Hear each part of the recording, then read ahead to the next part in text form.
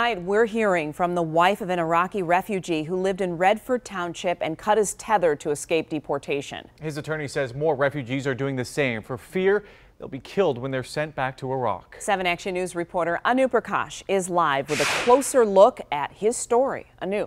Well, Glenda and Allen special agents did find and arrest him last week, and now he's one of three Iraqi refugees the U.S. Attorney's Office has charged for cutting off a tether to avoid deportation scared, nervous. Um, all you can do is cry and pray, and that's all we've been doing is just hoping for you know the best, for something to change. You know, just for him to at least get a chance. You know, to stay here and you know prove himself because Everybody makes mistakes. Belkis Florido's husband, Ali Al Sadoun, is an Iraqi refugee who spent eight years behind bars for breaking and entering. He was scheduled to be deported following that conviction, and on the day he was to be sent back, federal investigators say Al Sadoun cut off his tether to escape deportation.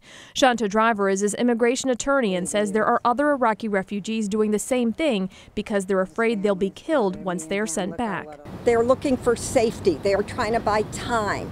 They're not trying to do something illegal. They are, they are taking the self-help measures they need to stay alive. On Friday, special agents arrested Ali Al Sadoun in Redford. They say he refused to open the door and used his wife and kids as a shield. They were ultimately able to arrest him. Ali's brother was killed, and that going back to Iraq is a death sentence. I, th I think a Detroit jury or a Wayne County jury could be very sympathetic to his plight and to what he did. He never left his home. He was just there with his kids and his wife.